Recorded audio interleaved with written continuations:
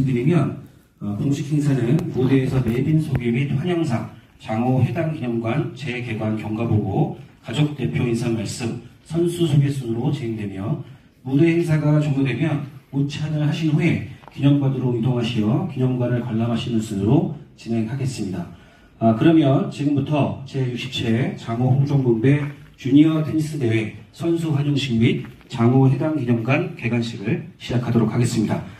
먼저 내빈 소개 및 환영사가 있겠습니다. 내빈 소개 및 환영사는 본 재단 김두환 이사장님께서 해주시겠습니다. 큰 박수로 맞아주시기 바랍니다.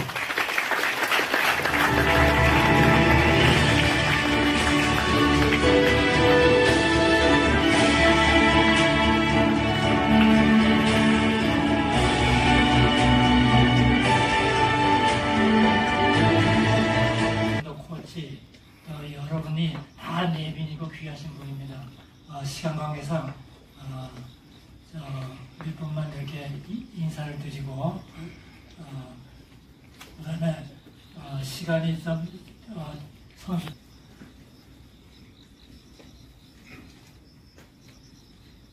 네, 먼저 내빈 소개를 드리겠습니다. 어, 본재단 명예이사장으로 계시는 홍순모 이사장님을 소개드립니다. 소개해드립니다. 대한테니스협회장 어, 시니어 테니스 연맹 명예회장을 연맹 회장을 소개합니다. 손영자 대한테니스협회 부회장님 소개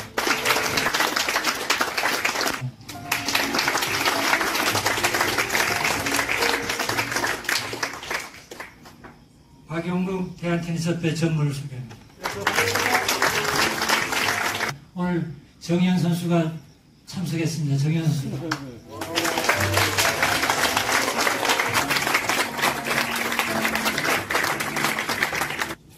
함영재 종합 전무님을 소개합니다.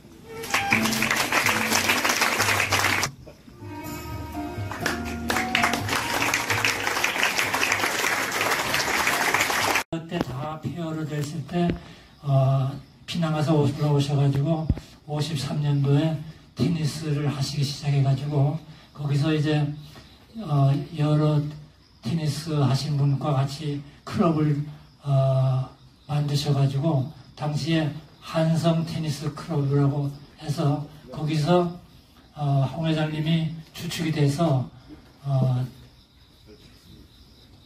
이 그 당시는 한성클럽 고등학교 초청대회로 되어 있습니다. 어, 그 대회가 이제 연륜이 쌓으면서 어, 회원들이 마- 많이 연료하시고 또 그래가지고 계속 이어가기가 어려워서 모든 회원들이 홍 회장님이 우리나라 테니스에 그래 관심이 제일 많으시고 애정이 많으시고 공로가 많으시니까 홍 회장님 이름으로 이 대회를 계승해야 되겠, 되지 않겠느냐 해가지고 어, 홍 회장님이 어, 쾌히 승낙하셔가지고 1989년 어, 33회가 됩니다. 33회부터 어, 장어배로 대회가 지금 현재까지 이어지고 있습니다. 많으시고 또 우리나라 테니스계를 위해서 참 애쓰시고 걱정을 많이 하시고 그래서 한국 테니스를 어떻게 하면은 보다 더 세계적 수준을 끌어올리고 발전시켜 나가겠느냐 하는 것에 대해서 많은 어, 생각을 많이 하실 겁니다. 이제 이 그 주니어를 키워야 되겠다 해서 주, 이 장어 테니스 대회를 어, 창설하게 되었습니다. 안녕하세요. 그 저희 그 기념관 재개원에 대해서 간단히 경과 보고를 드리겠습니다. 2000년 6월에 설립된 장호 테니스재단은 여러 가지 바- 우리가 노력을 많이 하고 또 테니스 기념관도 만- 장호 기념관도 만들어서 해왔습니다. 그런데 그 저희들이 해보니까 이제 많은 기능도 약화되고 개보수가 필요한 상황이었습니다. 그래서 2022년 6월부터 저희 그 해당 이승 여사님 전시관을 포함해서 기념관 기본 설계를 다시 다시 다 했습니다.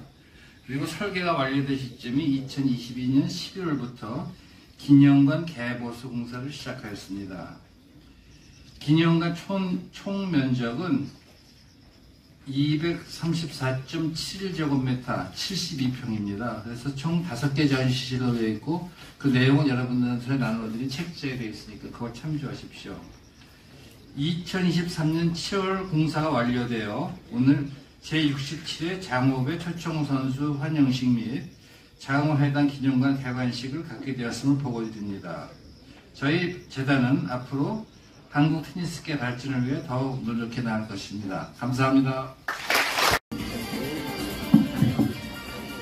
아, 이런 환창하신 선수 학부형 여러분 그리고 내비 귀하신 여러분 대단히 감사합니다. 지금도 이렇게 건강하게 여러분을 뵈게 돼서 정말 뭐라고 그 감격의 말씀을 드려야 될지 모르겠습니다. 그래도 짧게 여러분 축하드리고 또 이렇게 참석해 주셔서 대단한 감사라는 말씀을 올리면서 간단히 인사에 다시 나갔습니다. 감사합니다.